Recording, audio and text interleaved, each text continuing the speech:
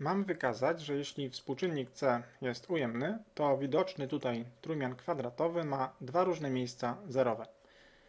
Myślę, że pomysł na rozwiązanie jest y, oczywisty dla każdego. Wstyd nie wiedzieć. Mianowicie istnienie dwóch różnych miejsc zerowych trójmianu kwadratowego jest uwarunkowane przez deltę. Oczywiście delta musi być dodatnia. Zatem mam wykazać, że jeśli c jest mniejsze od zera, to wówczas wyróżnik delta tego trójmianu kwadratowego jest dodatni.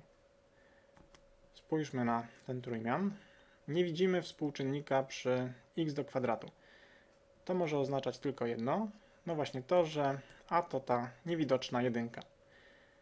Teraz załóżmy to, co nam tutaj podali i zbadajmy deltę. Jeśli współczynnik b podniesiemy do kwadratu, to jaki by on nie był, wartość tego kwadratu nie może być ujemna.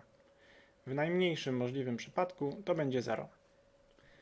Natomiast jeśli c ujemne pomnożymy przez minus 4, no to wartość tego iloczynu będzie dodatnia.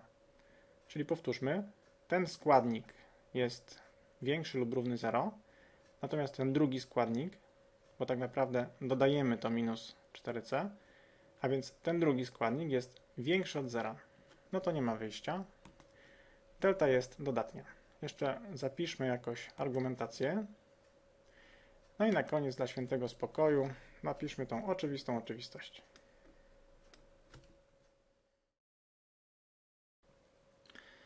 Przedstawię jeszcze jedno rozwiązanie, zupełnie inne, oparte na wizualizacji, jaką będzie y, parabola, która jest wykresem tego trójmianu.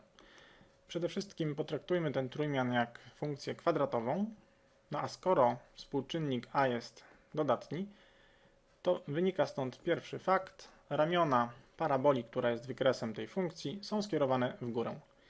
Oczywiście te ramiona pną się w nieskończoność, nie, nie są niczym z góry ograniczone, tak jak wartości tej funkcji. Teraz podstawmy za x0 i obliczmy wartość. Oczywiście dostaniemy c, ponieważ wszystkie składniki, które zawierają x, wyzerują się. Ponieważ c jest ujemne, no to stąd wynika drugi fakt. Parabola, która jest wykresem tej funkcji, przecina oś y gdzieś tam pod osią x. Oto obrazek.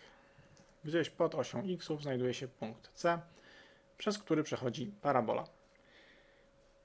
Oto przykład takiej paraboli. Tutaj mamy wierzchołek po lewej stronie osi y.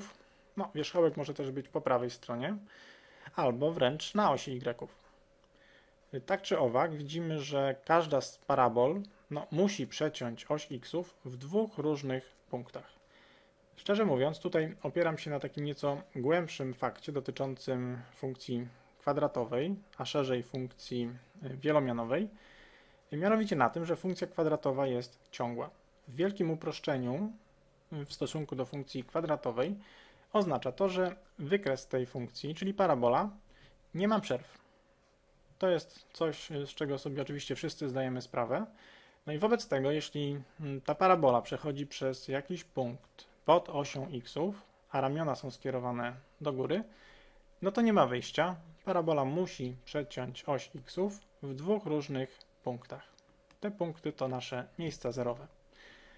To właściwie kończy sprawę. Jeszcze zauważmy dodatkowo, że te miejsca zerowe nie tyle są różne, to jeszcze mają różne znaki.